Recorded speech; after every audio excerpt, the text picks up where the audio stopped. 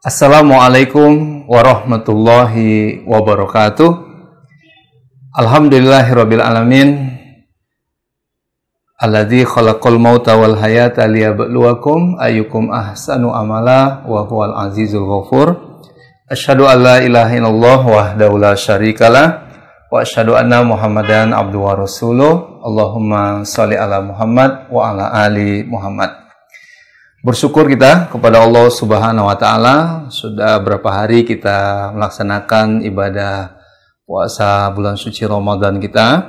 Sampai detik ini Allah masih memberikan kita nikmat sehat walafiat. Semoga dengan bertambah sehat kita maka bertambah pula ketaatan kita kepada Allah Subhanahu wa taala.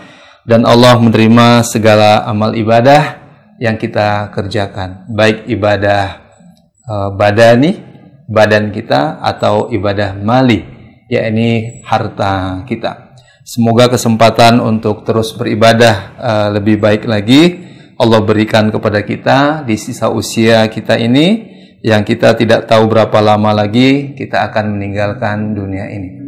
Tidak lupa sahabat perindu surga, Salawat kita buat Nabi tercinta, Nabi besar Muhammad Sallallahu Alaihi Wasallam dengan mengucapkan Allahumma sholli ala Muhammad wa ala ali Muhammad. Kembali kita bincang-bincang uh, wakaf sore hari ini menjelang berbuka puasa hari ini.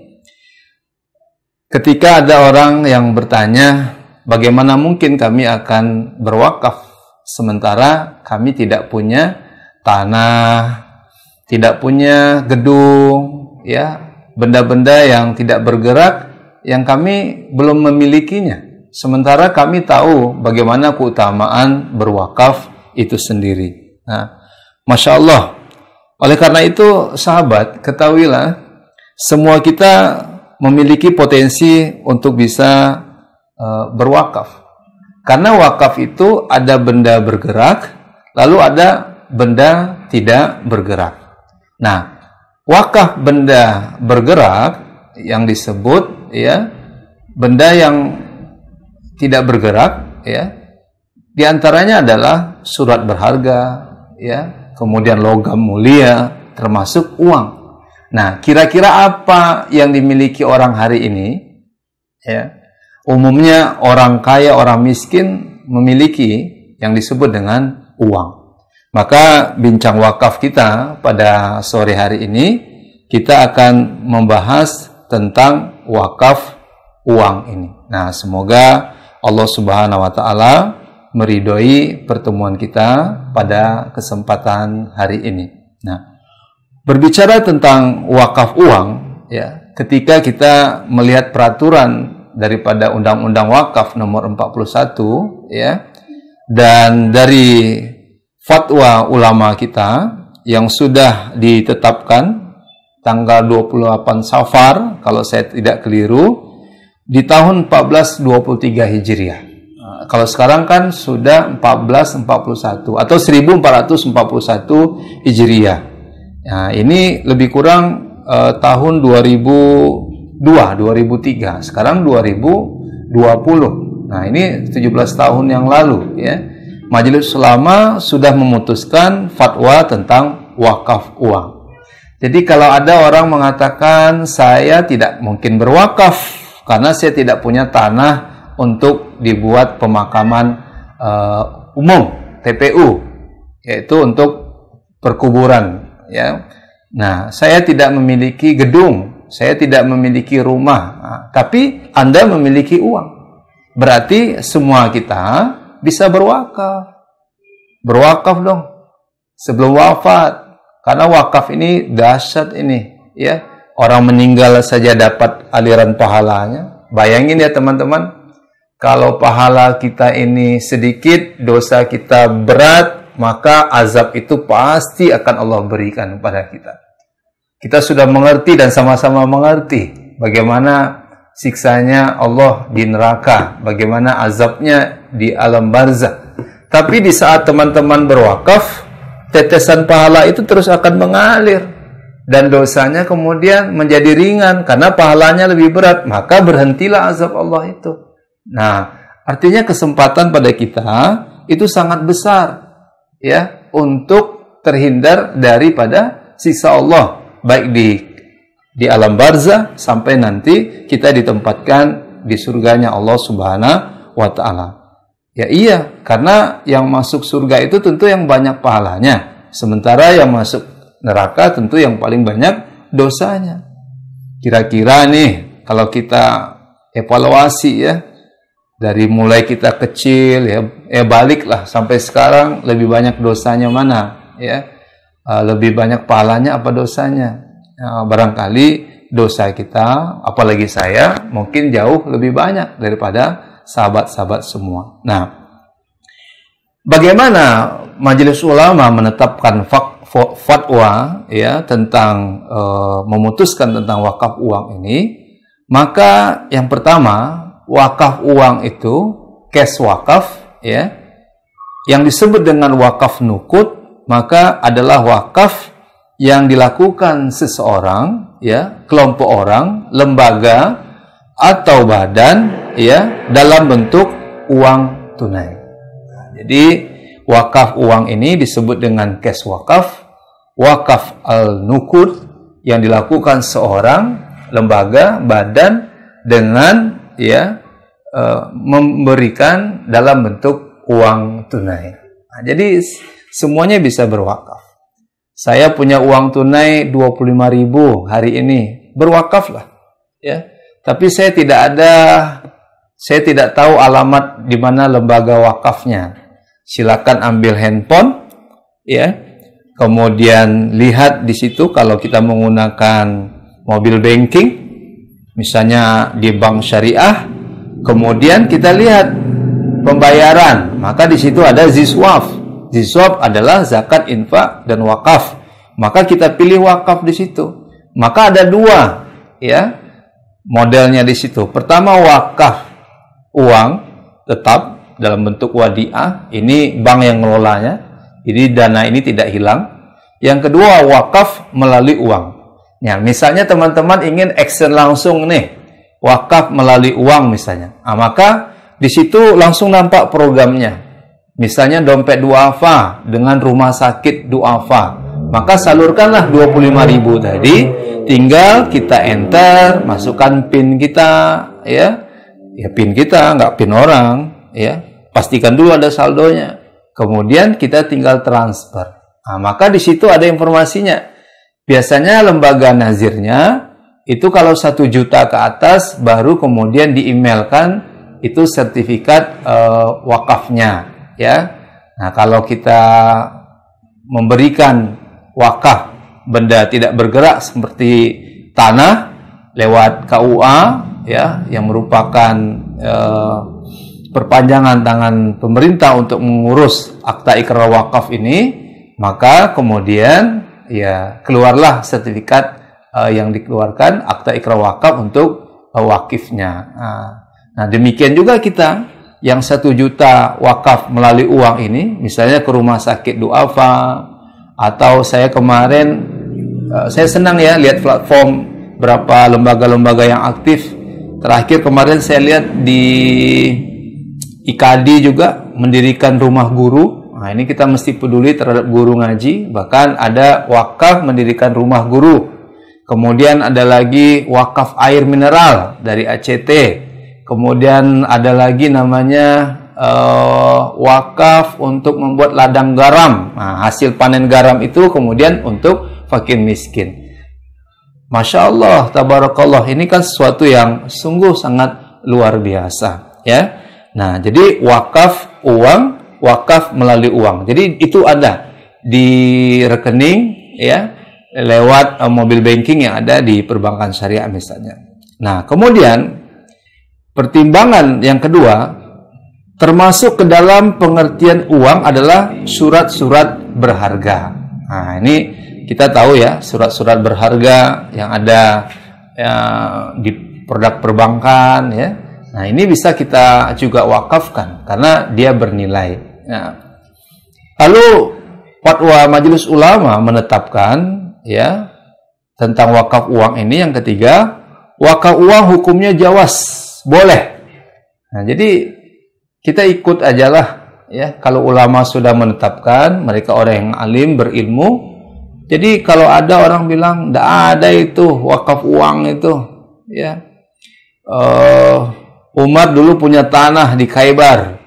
Nabi suruh tahan pokoknya hasil dari kebun kurma itu maka sedekahkan. Kan itu bukan wakaf uang itu wakaf kebun kurma. Nabi juga demikian dan seterusnya nah teman-teman peridu surga yang dirahmati dan diberkahi Allah Subhanahu wa taala, tentu ini menjadi kajian yang yang dalam waktu yang cukup lama sehingga ulama menetapkan wakaf uang ini hukumnya boleh jawas.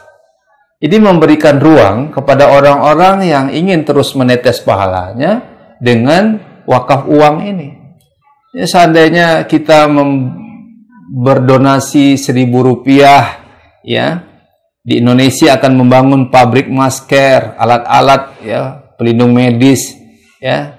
Lalu ada orang berdonasi seribu rupiah saja. Kalau ada 100 juta orang Indonesia dengan seribu rupiah maka pabrik itu beroperasi kemudian menghasilkan produk lalu mendapatkan untung.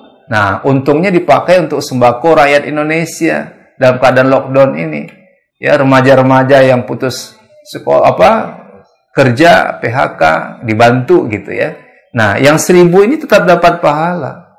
Percayalah, ya walaupun seribu rupiah kalau ikhlas ini ibadah mali ini dahsyat teman-teman. Kalau baca Quran ibadah badan, ya sholat tarawih kita, sholat wajib kita, ibadah badan, ya Nah, tapi yang paling hebat itu ibadah mali, ibadah harta. Ya. Berdoalah agar Allah mudahkan rezeki kita dan pantaskan diri kita ini dimudahkan rezekinya karena kita orientasinya setiap hari berwakaf. Hebat ini. Jadi pengusaha kalau berwakaf kita ya ini jadi branding ya, wakaf planner.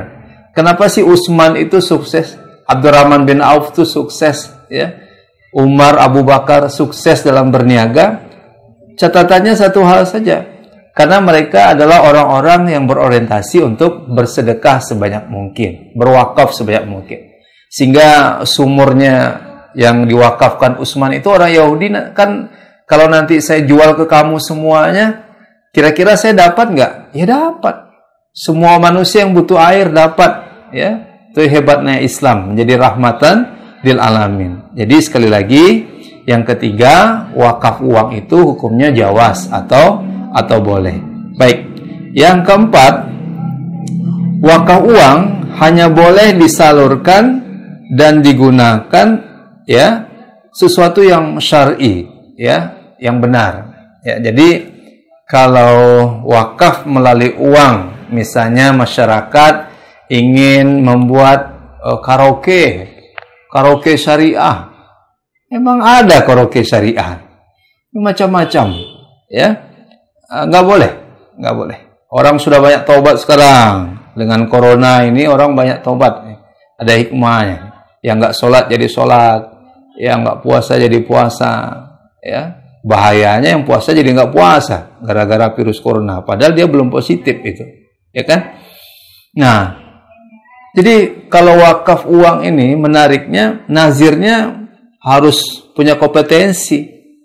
Jadi dia usaha yang syar'i, yang halal, yang boleh. Kemudian dia siap untung tapi nggak siap rugi. Nah, sekali lagi ya, siap untung tapi nggak siap rugi. Nah, ini bolehlah seperti roti. Nah, kita bisa kerjasama karena roti ini satu unit usaha roti yang masya Allah berkembang baik. Nah, boleh kita belikan bahan baku untuk membuat roti ini Dulu saya pernah uh, berkunjung ke Inakukis di Bandung. Itu bahan baku Inakukis itu dibelikan oleh dana wakaf dan ini pasti untung. Bahkan Inakukis di Bandung itu dia butuh sekian miliar, cuman lembaga wakafnya belum punya dana yang banyak. Itu selang hanya satu dua pekan dananya dikembalikan.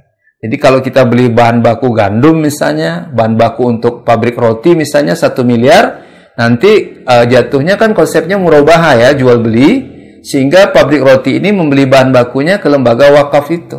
Kita investasi 1 miliar, lalu kita jual dengan harga 1,3 M misalnya. Maka kita untung 300 juta. Nah, untungnya inilah kemudian kita bagikan kepada fakir miskin. Nah, itu maksudnya. Wakaf uang ini boleh disalurkan kepada usaha-usaha yang syar'i. Nah, ini kan hebat kita. Tapi gara-gara kapitalis ini udah di mana-mana, ya orang ingin kaya sendiri saja. Sementara wakaf ini ingin kaya sama-sama. Sudahlah, kalau kaya sendiri saja, coba lihat sekarang, kriminalitas itu tinggi sekarang. Ini baru saya lihat lagi video viral hari ini, ketemu lagi perampok, maling. Sebenarnya mereka ya tidak niat, sebenarnya bukan tidak niat ya. Mungkin ada ada peluang juga sih. Cuman mereka, mereka tidak ada penghasilan, ya kan? Kita kasihan juga itu. Nah, seharusnya adanya pemerataan ekonomi di mana-mana. Nah, salah satunya instrumen zakat, ya kan? Alhamdulillah. Ini teman-teman sudah bergerak. Basnas, Lasnas, alhamdulillah. Sekarang wakaf lagi bergerak. Sehingga pemerataan ekonomi ini terjadi di mana-mana. Jangan yang kaya semakin kaya, miskin semakin terpuruk. Tidak begitu. Sementara Islam itu hadir, maka ada ya keseimbangan. Artinya kaya membantu yang miskin, yang miskin pun kemudian terus berusaha, berusaha untuk tidak meminta-minta, berikhtiar, tapi dia boleh mendapatkan haknya. Karena ini bagian dari kalau zakat 8 asnaf, kalau dia penerima wakaf, dia adalah bagian maukuf alainya. Masya Allah, tabarakallah. Ya, ingat ibadah mali itu sangat luar biasa yang terus akan mengikuti ketika kita sudah meninggal dunia. Nah, Kenapa saya sampaikan tadi, ini buat teman-teman nazir, kalau ada yang mengumpulkan dana wakaf uang ini satu miliar, ya, ini pertimbangan ulama kita, nilai pokok wakaf, ya, kalau saya contohkan satu miliar tadi, ya, harus dijamin kelestariannya, tak boleh hilang, tak boleh hilang, ya. Jadi kira-kira diinvestasikan ke mana satu miliar ini? Tadi saya sudah contohkan bahan baku untuk membuat roti, ya. Apalagi uh, ini lebaran orang butuh makanan sampai nanti uh, lebaran Ramadan sampai lebaran. Ya misalnya madu lebah ya kurma dan seterusnya. Ini boleh. Nah ketika kita mengalokasikan satu miliar kepada pengelolanya sampaikan. Kita tidak mau rugi. Kita satu miliar ini harus pulang pokok minimal pulang pokok dijamin kelestariannya kalau ada untungnya alhamdulillah nah, ini untuk pengembangan lah ya untuk lembaga boleh diambil 10%, tapi ingat dari untung bersih ya, 10%. Makanya kalau ada yang satu miliar, kalau belum uh, ada usaha, biasanya nih lembaga itu meminta lagi infak ya 10 persennya kalau memang wakifnya mau. Karena yang satu miliar tidak boleh rusak sedikit ya. 01 rupiah pun satu rupiah pun tidak boleh rusak ya. Jadi ketika dialokasikan investasi wakaf uang ini satu miliar, pastikan satu miliar ini balik, justru mendatangkan profit, ya benar, keuntungan laba, sehingga laba itu 10% untuk lembaga nazirnya, 90% dari keuntungan bersihnya itu untuk mauquf alai. Masya Allah, tabarakallah. Saya mulai semangat kalau ada di mana-mana itu uh, home industry misalnya, kuliner apa pun namanya itu dari wakaf, wakaf uang. Jadi wakaf melalui uang. Misalnya barbershop ya, pangkas rambut gitu dari wakaf. Kalau wakaf air saya sudah melihat. Ini kalau sempat Ramadan ini oh, aktif di masjid-masjid tuh wakaf air wakaf mungkin udah sampai ke masjid-masjid jemaah itu ya. Nah, mungkin ada restoran ya walaupun sekarang agak sulit ya Nah, tapi kita berharap hulu hilir uh, bisnis AZ yang selama dia syari halal barokah, uh, maka boleh dialokasikan itu untuk kemudian membuat uh, apa unit usaha berbasis wakaf. Biasanya lebih banyak untungnya, jarang rugi. Dan alhamdulillah izin Allah, saya tidak meneliti sampai ke Istanbul Turki. Mudah-mudahan 500 tahun perjalanan di Turki dan di antara itu kita tahu Turki maju uh, menjadi Islamic uh, apa namanya uh, tempat kunjungan wisata ya uh, Islamic tourism. Nah di Turki itu terkenal karena perkembangan aset wakafnya. Nah, di Indonesia berkali-kali sudah saya sampaikan, tolong bantu saya cari kebenarannya. Gedung DPR MPR, salah satunya dana wakaf yang masuk ke dalamnya. Insya Allah ini bisa dipertanggungjawabkan. Monas juga dari dana wakaf yang masuk di antaranya. Pesawat presiden kita yang pertama juga dari dana wakaf. Itu wakaf melalui uang kan? Masya Allah. Jadi hukumnya boleh saja, sudah lama dipraktekkan. Gelora Bung Karno juga ada wakaf melalui uang masuk ke sana dan itu aset negara kita yang harus kita jaga lestarikan karena ini punya bersama punya umat masya Allah tabarakallah. Jadi ini ya kajian kita pada kesempatan ini berbicara tentang wakaf uang. Tidak ada alasan tidak berwakaf karena semua kita sekarang memiliki uang. Walaupun hanya seribu rupiah lima ribu rupiah mari kita gerakkan kesadaran wakaf ini karena kita tidak tahu kapan kita akan meninggal dunia. Selama dana wakaf itu kita niatkan di jalan Allah Subhanahu wa taala, lalu orang-orang yang mengelolanya punya kompetensi yang baik, lalu berkembanglah aset wakaf ini, masya Allah. Mungkin suatu saat di negeri kita ini akan membuat ketahanan pangan nasional, maka kita kumpulkan wakaf uang untuk membuat misalnya ya insya Allah kebun kurma, kemudian pertanian labu misalnya. Kita tidak tergantung dengan bangsa lain. Kita Indonesia, kita kaya ya banyak nikmat di, sekarang di sini. Kita sekarang mesti berjemaah sehingga banyak usaha-usaha nanti untuk ketahanan pangan Indonesia ini, masya Allah, tabarakallah, hasilnya pun bukan untuk sendiri, tapi untuk seluruh masyarakat Indonesia agar makmur dan sejahtera. Jadi ketika kita berbicara sila kelima keadilan sosial bagi seluruh rakyat Indonesia, maka kita sesungguhnya berbicara tentang implementasi wakaf di tanah air ini. Karena wakaflah yang mampu mewujudkan keadilan sosial bagi seluruh rakyat Indonesia. Selamat berwakaf menjelang Ramadan, menjelang buka uh, puasa hari ini masih ada kesempatan kita berwakaf. Nah, semoga wakaf kita diterima Allah Subhanahu wa taala. Tidak ada alasan kalaupun tidak punya tanah, gedung, kantor ya. Kalau itu disebut dengan wakaf uh, benda tidak bergerak, tapi ada wakaf benda bergerak di antaranya logam mulia, surat berharga dan termasuk uang itu sendiri. Nah, semua kita tentunya punya uang dan semua kita bisa berwakaf dan tercatat sebagai sadaqatin jariah. Dukung uh, usaha kita semua, saya dan sahabat-sahabat semua untuk terus mensyiarkan uh, wakaf ini bagi pedagang, branding diri kita menjadi wakaf trainer Semoga kita bisa mewujudkan keadilan sosial bagi seluruh rakyat Indonesia. Lebih dan kurang saya minta maaf. Terima kasih. Uh, mudah-mudahan suatu saat kita akan lanjutkan uh, diskusi kita bincang wakaf. Dan jika ada pertanyaan, kami persilahkan di nomor 08 08 12 12 maaf sekali lagi 08 12 7676 0099. Ada hadiah dari generasi muda kita dari teman-teman Foda Amara. Saya nggak tahu hadiahnya. Apakah buku, Al-Quran, jangan-jangan uang tunai agar disuruh berwakaf. Ya, terima kasih. Kami tunggu pertanyaan yang menarik. Tunggu hadiahnya di rumah. Insya Allah petugas kita akan sampai ke rumah.